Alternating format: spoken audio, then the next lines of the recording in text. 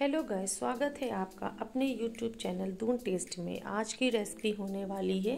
ये दो टाइप की मैं रेसिपी बताऊँगी ब्रेड से बच्चों के लंच बॉक्स के लिए। तो हम लोग, आज ना दो टाइप की रेसिपी है। जो कि बहुत ही इजी मेथड से है तो चलिए शुरू करते हैं। सबसे पहले मैंने एक बॉल में दो से तीन अंडे लिए हैं। हमें तीन अंडे ले लेंगे ताकि इस तीनों अंडों से हम दो टाइप की रेसिपी बनाएँगे। अब तीन अंडे लेने के बाद में इसमें थोड़ी सी काली मिर्च ऐड करनी है। तो काली मिर्च ऐड करने के बाद में टेस्ट के हिसाब से इसमें चिली फ्लेक्स ऐड करनी है और इसके बाद में इसमें थोड़ा सा नमक ऐड करना है।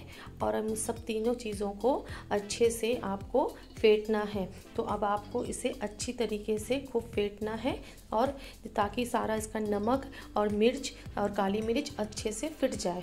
तो जब ये अच्छे से फिट जाएगी, तब फिर हमें अपना अलग से ब्रेड के दो पीस करने हैं। तो मुझे ये छोटी ब्रेड मिली। अब आपको इसके दो पीस करने हैं। तो दो पीस करके आप इसको अलग अलग कर लीजिएगा। अब इस एक पैन में मैंने थोड़ा सा इसमें देसी घी ऐड किया है। आप इसमें बटर भी ऐड कर सकती हैं। तो अब इसमें बटर डालने के बाद में, ये घी डालने के बाद में फिर मैंने ये ऑमलेट की तरह ये अंडा फिटा हुआ इसमें मैंने डाल दिया है। तो जितना बड़ा हो सके तो इसका बड़ा सा ऑमलेट सा बना लीजिएगा। अब इसमें ये ये कटिंग की हुई दोनों पीसों को इसमें अलट पलट के अंडे में आपको इसमें ब्रेड के पीसों को रखना है। अब इसको दोनों पीसों को जब आप इसमें ऑमलेट के ऊपर अच्छे से रख देंगे तो फिर इसको आपको अच्छे से धीमे से इसे तवे में ही आपको पलटना है। तो आप इसको धीरे से इसको पलट दीजिएगा ताकि ये ऑमलेट टूटने ना पाए। अगर ये टूट जाएगा तो थोड़ा सा ख़राब हो जाएगा। तो अब इसको अच्छे से फिर मीडियम फ्लेम कर दीजिएगा और ये जो ऑमलेट है, इसको ब्रेडों के ऊपर आप धीरे धीरे करके इसको फोल्ड कर दीजिएगा। तो ये ब्रेडों के पीस में आपको फोल्ड करना है।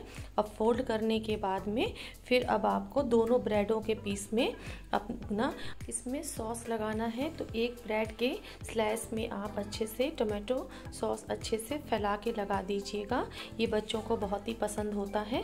तो अब और दूसरी तरफ़ से एक आप इसमें मेजरोला चीज़ की जो स्लाइस होती है, उसको दूसरे ब्रेड के पीस में रख दीजिएगा। अब दोनों ब्रेड के पीसों को अच्छे से फोल्ड कर दीजिएगा।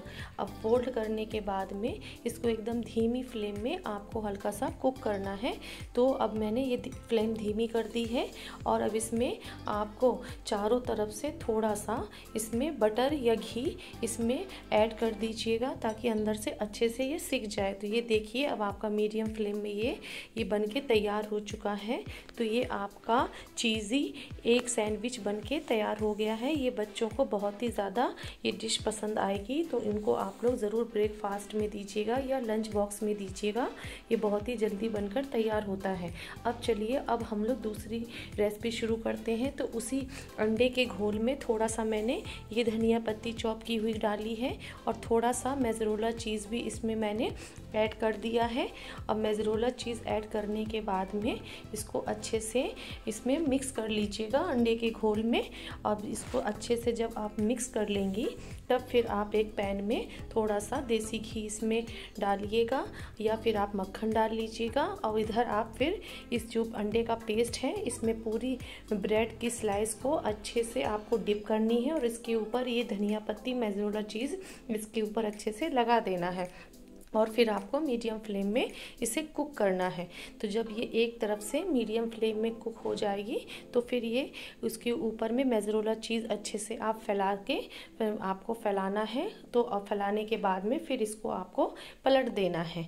अब पलटने के बाद में वो जो चीज़ है, वो धीमे धीमे मीडियम फ्लेम में अच्छे से कुक हो जाएगी और ब्रेड में अच्छे से मेल्ट हो जाएगी। अब जब ये अच्छे से कुक हो जाएगी तो ये समझिए आपका ये चीज़ सी ब्रेड टोस्ट बनकर रेडी हो चुका है। ये बहुत ही सिंपल रेसिपी है और बहुत ही टेस्टी रेसिपी है। ये रेसिपी भी आपके बच्चों को बहुत ही ज़्यादा पसंद आएगी तो इनको आप लंच बॉक्स में ये दोनों टाइप के ब्रेड की रेसिपी आप ज़रूर दीजिएगा और अपने फैमिली मेंबर्स को भी आप लोग ज़रूर खिलाइएगा।